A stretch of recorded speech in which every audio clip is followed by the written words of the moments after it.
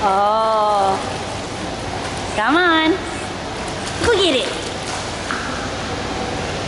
Good girl. Good girl.